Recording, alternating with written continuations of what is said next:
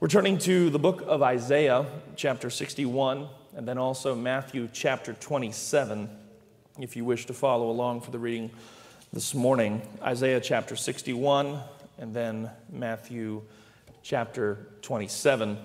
I would invite you, if you're able and willing, to stand with me for the reading of God's word. We'll begin with Isaiah chapter 61, verse 1, where it reads, the Spirit of the Lord is upon me, because the Lord hath anointed me to preach good tidings unto the meek. He hath sent me to bind up the brokenhearted, to proclaim liberty to the captives, and the opening of the prison to them that are bound, to proclaim the acceptable year of the Lord, and the day of vengeance of our God, to comfort all that mourn, to appoint unto them that mourn in Zion, to give unto them beauty for ashes, the oil of joy for mourning, the garment of praise for the spirit of heaviness, that they might be called trees of righteousness, the planting of the Lord, that he might be glorified. And then we're moving to Matthew chapter 27. Matthew chapter 27, the story of the crucifixion, beginning at verse 45. We'll conclude the reading at verse 50. Now, from the sixth hour, there was darkness over all the land unto the ninth hour. And about the ninth hour, Jesus cried with a loud voice, saying, Eli, Eli, Lama Sabachthani, that is to say, My God, my God, why hast thou forsaken me? And some of them that stood there when they heard it, that said, This man calleth for Elias. And straightway one of them ran and took a sponge and filled it with vinegar and put it on a reed and, gave him to drink. The rest said, Let be, let us see whether Elias will come to save him. Jesus, when he cried again with a loud voice, yielded up the ghost. Asking Conference President uh, Jacob Martin if he would to ask God's blessing on the reading of his word. Thank you for your word. It's powerful, it's life changing gives us exhortation and help throughout the day. Our brother Solomon, as he shares it just now, quicken his mind and all of us together, help us to be obedient to your word and love you with all our hearts. We pray in Christ's name. Amen. Amen. You may be seated. In my mind's eye, I can see them. Their eyes are wide as they stare at the flaming sword in the hand of the angel. The fiery guard is stationed resolutely in front of the entrance to what was once the perfect home a place without a single defect. But now they are banished. They cannot ever return, and life itself has changed for the rest of time. I imagine that Eve looks to Adam and in tears says, If only there were someone. I can see them standing on a hill. Their clothes are soaking wet, wet with water falling for the first time from the sky. Looking down on the land below, there's less and less of it to see as the minutes tick by. Torrents of raging water are ripping up houses. People and animals are scrambling for the hills. The odd boat that Noah has been building for the century suddenly shifts ever so slightly, and some of the piling holding it up snaps, and the other side lifts, and the boat begins to move with the current of the river that once was Noah's yard. As the waters rise around them, they look at each other and they begin to panic and cry, If only there were someone to help us. I see the troops lined up on either side of the valley, and the giant Goliath of Gath shakes the very ground with his footsteps. His voice ricochets across the valley Is there a man? Is there someone? And for the longest time, there are whimpered replies on the other side if only there were someone. The jar is empty. She's making the last little bit of bread they will ever eat. She looks at her son with pity. This death of starvation will be slow and merciless. They are starving. They cannot live. Their options are out. If only there were someone. You see the cries from the Old Testament rise up in chorus. If only there were someone. The brokenness of man's sinful condition necessitates an assist from an outside source. The search for a hero continues. They've been invaded, Rome has conquered. The places they love are now occupied by the biggest military in the world. If only there were someone. He's been blind since birth. His physical limitations have ostracized him with society. He often sits by the roadside calling out for help. If only there were someone. She has dealt with this condition for too many years to count. She has spent every dime and every dollar she has on every physician she can find, and none can help her if only there were someone. At one point in his life, he was normal. At one point, he didn't run around with no clothes, breaking everything in his path like a human wrecking ball. But today, his name is Legion, and everyone around him believes there is no force on earth strong enough to stop him if only there were someone. To her, it's just another day. The chores are calling, duty must be done. As she treads the dusty path to the well, her heart is as empty as the jar in her arms. She feels used, abused, lost. She's tried many things five broken marriages, an immoral relationship at the present.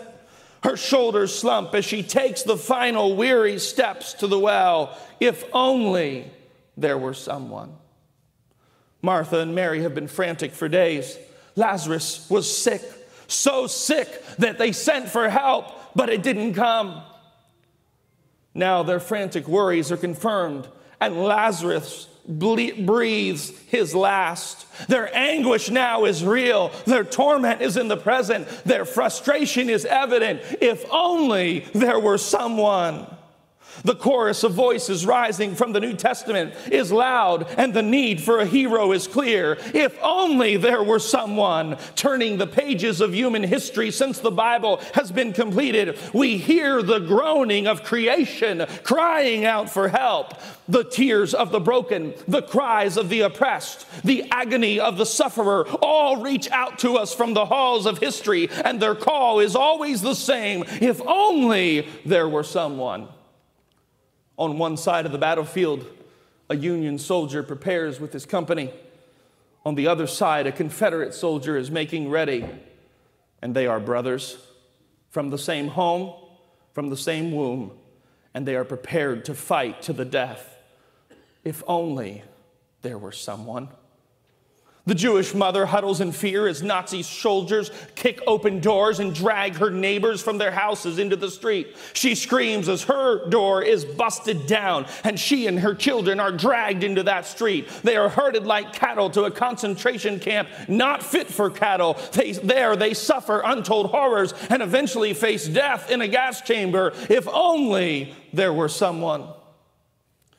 She looks up from the kitchen sink and sees the sight no military mom ever wants to see or even think of a government car, a soldier in a crisp uniform. The doorbell rings. His hat is off. I'm sorry, he says. If only there were someone. It's 2:30 a.m. The phone shatters slumber, and the person on the other end of the line delivers the sad news that changes a family's history. It was an overdose. We found her just a few minutes ago.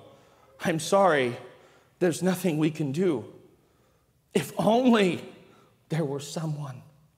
There's hate and rage. It steams, it boils, it explodes. What was once a matter of the heart is now being demonstrated in our streets. Lines are drawn, sides are taken. The divide grows wider. We hate each other. We can't stand the other side. We can't listen to each other. We can't respect each other. It's all or nothing and we look around and we say, if only there were someone.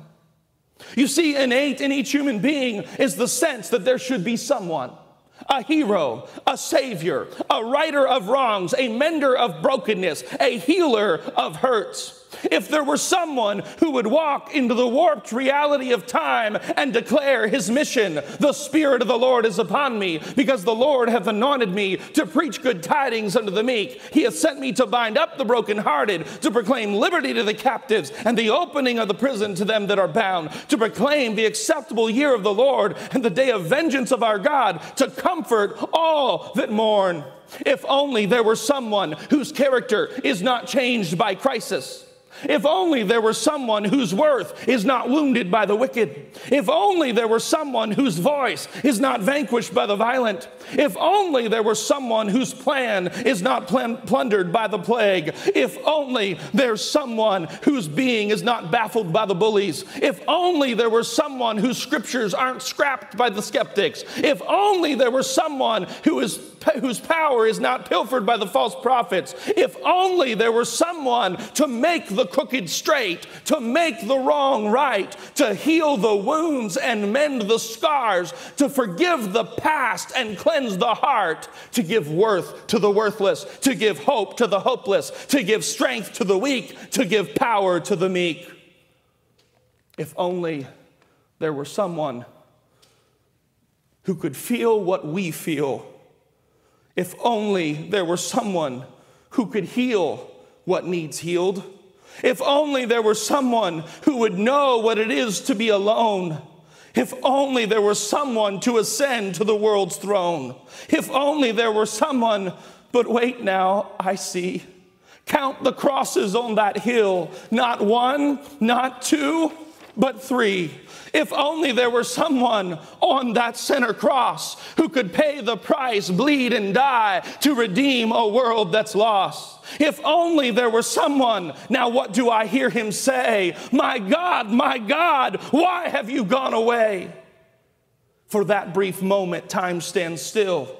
We stop and think about what we've heard on that rugged hill. The man in the middle has done no wrong, yet here he is, crucified by the throng, with stripes on his back and thorns in his head. He struggles to breathe, he's mostly dead.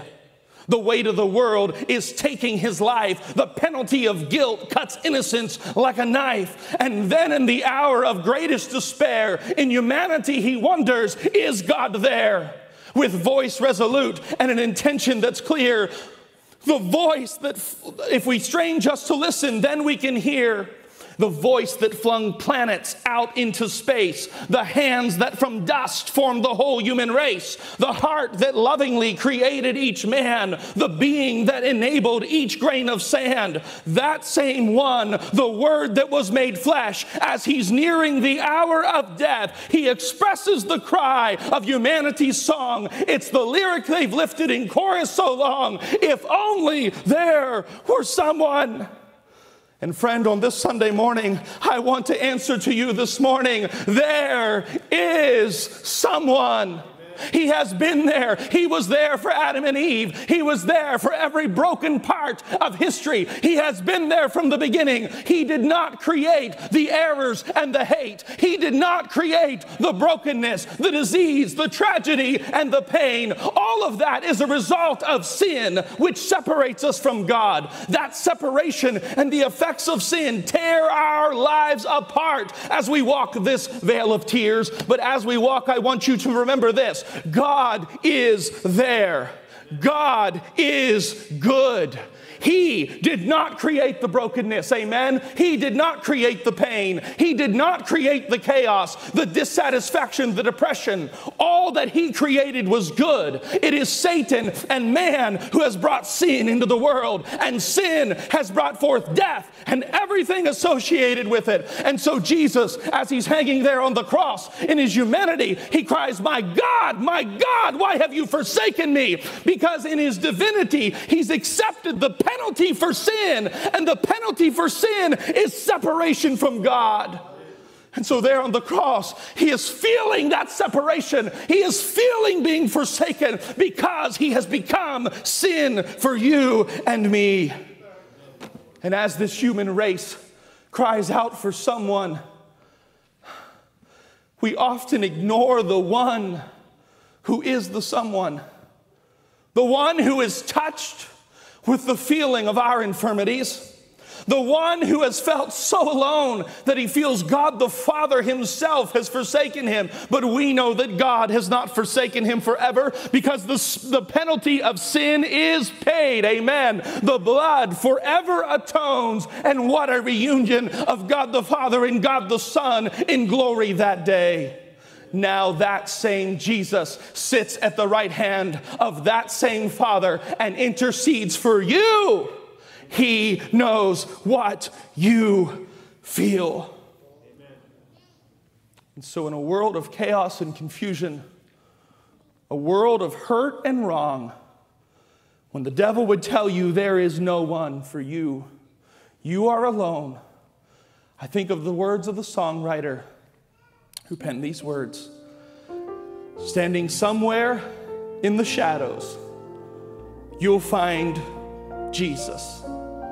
He's the only one who cares and understands. Standing somewhere in the shadows, you will find him, and you'll know him by the nail prints in his hands. Friend, whether you're here this morning or watching online, if in your life you've ever said, if only there were someone, let me introduce you to Jesus. He know what it is. He knows what it is to feel the need for someone. He knows the need of your heart this morning. The love and power of God are the biggest untapped resources in the universe. If we turn to Jesus, He's able to fix the broken condition of the human heart. He's able to provide grace for all that life brings. For those moments when you say, if only there were someone. He says, I am. I am. I am the beginning and the end, the Alpha and Omega, the first and the last. It's as if He's telling you, child, I am that someone. And nothing can change that. The abuses and battles of life may mangle us mentally. They may defeat us physically. They may eviscerate us emotionally, but they have not, cannot, will not strip us spiritually of the someone who is there.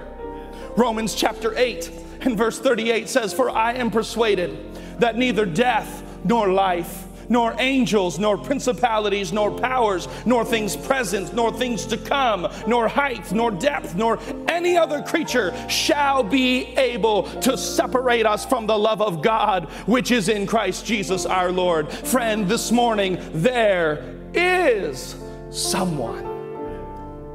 I'm inviting you to stand with me with heads bowed and eyes closed. We're going to sing that chorus together. You're seeing the news, you're hearing. I've never experienced a time in my life when, maybe except for 9 11, where we're all talking about the same things. We are. We're all experiencing some of those same emotions. And often it's just we don't know what to think. And we can be a little afraid. We can be confused. What's next? But instead of looking to a political leader to be the someone, could I remind us this morning that Jesus has fought every battle? He's experienced all that there is to experience as far as the battle against Satan, and he has won. And so our confidence must be in him. And this morning, if you don't know Jesus and you've been shaken by this, I invite you to come to the altar and pray and ask Jesus to be that someone in your life. You may not have seen him through all the times, through all the battles, when you've lost loved ones, when there's, when there's been physical pain, when there's been hurt. You say, Where was he? He is there. It's just so often we leave him in the shadows. We don't make him Lord of our life. We, we push him off, we neglect him, and we try to solve our problems every other way and neglect the someone who is the answer. This morning, the Spirit of God has been in this service. The altar is open. The opportunity, the doors of opportunity are open wide for you. Let's sing it together. Standing somewhere in the shadows, you'll find Jesus. He's the only one who cares and understands. Standing somewhere in the shadows, you will find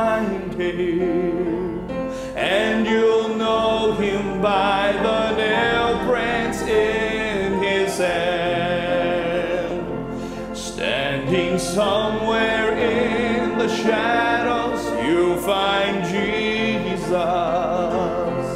For he's the only one who cares and understands. Standing somewhere in the shadows, you will find him, and you'll know him by the nail prints in Father in heaven, we come before you this morning grateful that through the hard fought battle at Calvary, that there is someone to loose the prisoner, to free those who are in chains, to lift up the discouraged, to comfort the grieving, to heal the brokenhearted, to be everything to us. We thank you for that and we worship Jesus Christ this morning. And my prayer today is that if there's someone who has not found the someone, I pray that you would speak to their hearts and draw them to yourself that they may know the joy and the security and the blessing and the peace that comes from knowing Jesus. It's in Jesus' name that we pray and ask all these things. And all God's people said, Amen. Thank you so much for being here this morning. Let's continue to mind God throughout the day. We invite you back to Sunday school, 5:30 p.m. There'll be prayer time here in the church sanctuary, and then the evening service, 6:30 p.m., the commissioning service. We welcome you back. God bless. Have a great rest of the day.